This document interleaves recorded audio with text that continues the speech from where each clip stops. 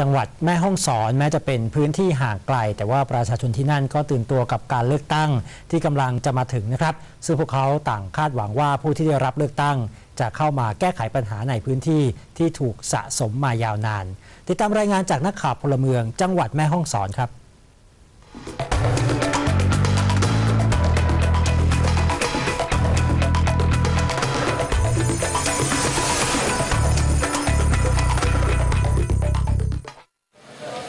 เหลือเวลาเพียงไม่กี่วัน ก็จะเข้าสู่โค้งสุดท้ายก่อนการเลือกตั้ง นโยบายประชานิยม ถูกนำมาใช้ในทุกพื้นที่ ทั่วประเทศแม้แต่จังหวัดแม่ฮ่องสอนก็เช่นกัน เมื่อสัปดาห์ที่ผ่านมา จังหวัดแม่ฮ่องสอนได้จัดเวทีให้ผู้สมัคร รับเลือกตั้ง ได้แถลงนโยบาย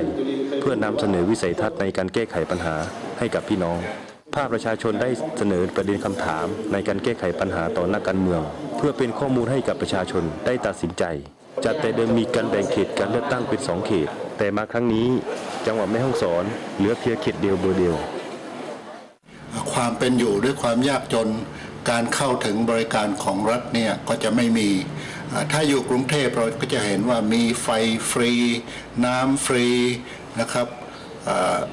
รถไฟฟรี เราจะเห็นว่าคนแม่ฮ่องสอนไม่ได้สิทธิ์เหล่านี้เลยนะครับ ราะฉะนั้นแต่ว่าเราก็เสียภาษีเท่ากับคนอื่น แต่พอมีบริการของรัฐแล้วนะครับ เราซึ่งยากจนน่าจะเข้าถึงบริการพวกนี้ เรากลับไม่ได้รับโอกาสนะครับ เพราะฉะนั้นก็อยากจะฝากว่าใครก็ตามที่มีส่วนเข้าไปบริหารประเทศ ก็ขอให้แก้ไขเรื่องอย่างนี้ด้วยนะครับผมคิดว่าบ้านเราเนี่ยในระบบประชาธิปไตยถึงแม้จะพูดว่าเป็นระบบประชาธิปไตยถึงแม้จะมีการเลือกตั้ง แต่โครงสร้างอำนาจก็ยังรวมศูนย์ ซึ่งไม่เป็นประชาธิปไตยเพราะฉะนั้นเนี่ยจะแก้ไขปัญหาของท้องถิ่นไม่ได้เลย ในเมื่อแก้ไขปัญหาของท้องถิ่นไม่ได้ การแก้ไขปัญหาในระดับประเทศ ก็เป็นไปได้ยาก เพราะฉะนั้นเนี่ยผมคิดว่าเรื่องเดียวเป็นเรื่องที่สำคัญที่จะแก้ไขได้เรื่องของการกระจายอำนาจตรงกลางความจริงทำหน้าที่ที่สำคัญหลักๆ อยู่สักไม่กี่เรื่องก็พอ ส่วนเรื่องของงานพัฒนาเกือบทั้งหมดเนี่ยคิดว่าน่าจะมอบให้กับท้องถิ่นแล้วต้องมีงบประมาณด้วย ประชาชนตั้งความหวังกับวิธีครั้งนี้ ว่าจะเป็นประตูสู่การแก้ไขปัญหาอย่างแท้จริง ไม่ว่าจะเป็นปัญหาเรื่องที่ดีทำกิน การเข้าถึงระบบการศึกษา